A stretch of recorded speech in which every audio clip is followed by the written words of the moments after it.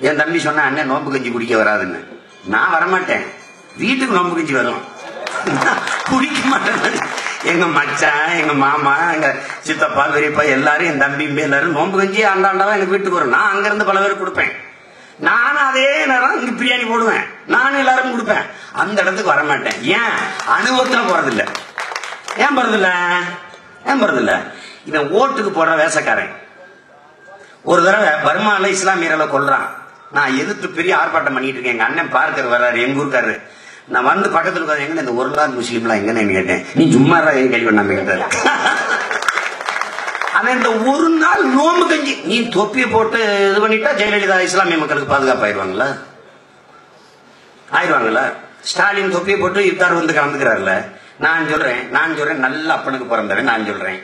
எந்த காலத்திலையும் பாரதிய ஜனதா காங்கிரஸ் திமுக அதிமுகவோட கூட்டணி இல்ல. நான் சொல்றேன்.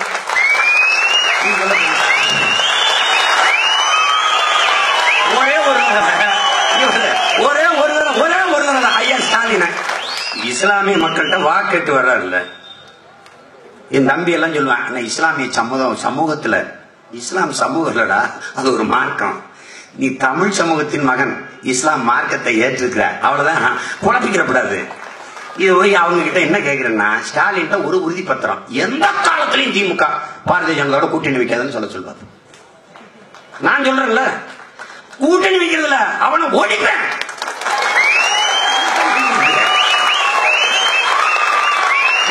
அவன் ஒரு முட்டு முட்டு நான் மூணு முட்டு முட்டு தள்ளுவேன்.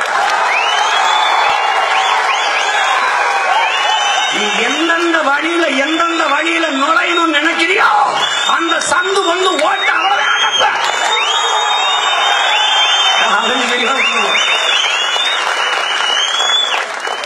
நீ என்ன செஞ்சாலும் எதிர் புரட்சி செய்வேன்.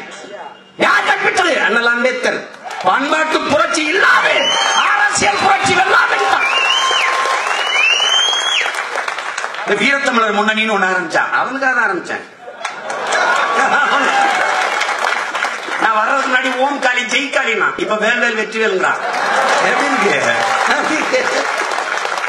அங்க வீர சிவாஜி பண்ணாங்க மராட்டிய மன்னனுக்கு மானத்தமன் பண்ணல என்னடா வேலை என்ன?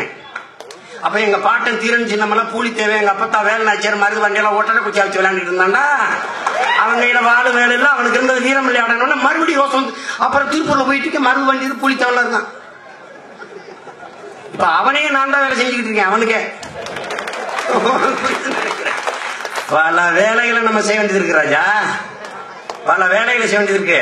நீ பிள்ளையார தூக்கிட்டு வா நான் முருகனை தூக்கிட்டு வரேன். நீ குளக்கொட்டையோட வா நான் வேலையோட வரேன்.